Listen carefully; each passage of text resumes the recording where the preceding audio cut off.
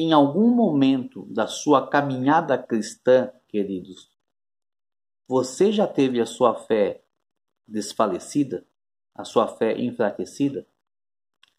Ainda mais nesses dias maus, nesses dias tão difíceis a qual nós estamos vivendo?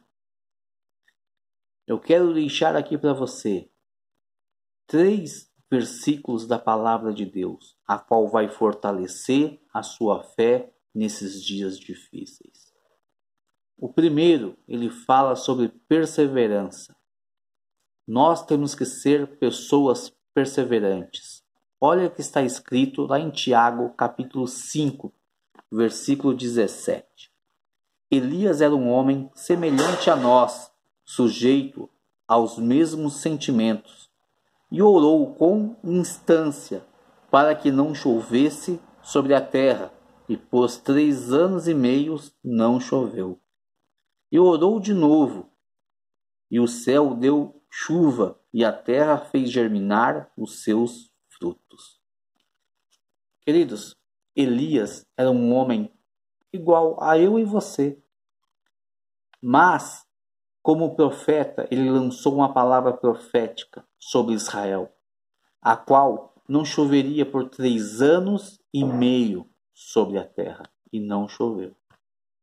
E quando ele clamou de novo, ele estava lá no monte, junto com Geazi, e ele começou a orar, ajoelhou, orou uma, duas, três vezes, e falava para o moço: Vai lá no cume da montanha e vê se a chuva está vindo.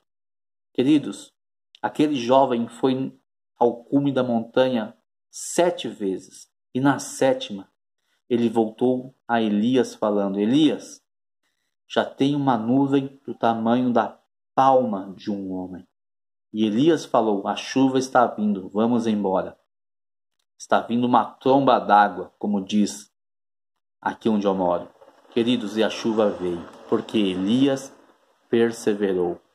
Persevere nesses dias, porque Deus vai enviar para você uma nuvem do tamanho da palma de um homem e será a resposta da tua oração. Segundo, nesses dias tão difíceis a qual nós estamos vivendo durante essa pandemia, que parece que não vai ter cura, eu quero te dizer, vai ter cura. Olha o que está escrito no livro de Tiago, capítulo 5, versículo 16.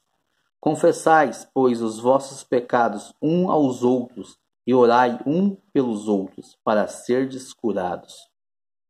Queridos, é momento de nós orarmos pelos outros, pelas pessoas que estão padecendo pelo Covid, porque a nossa oração vai trazer cura sobre a terra.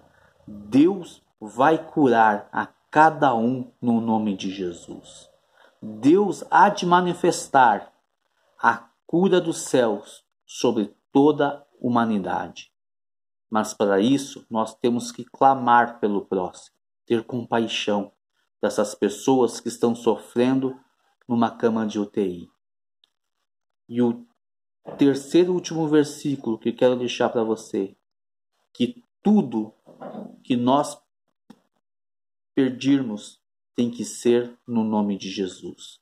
Olha o que está escrito no livro de João, capítulo 14, João 14, versículo 13.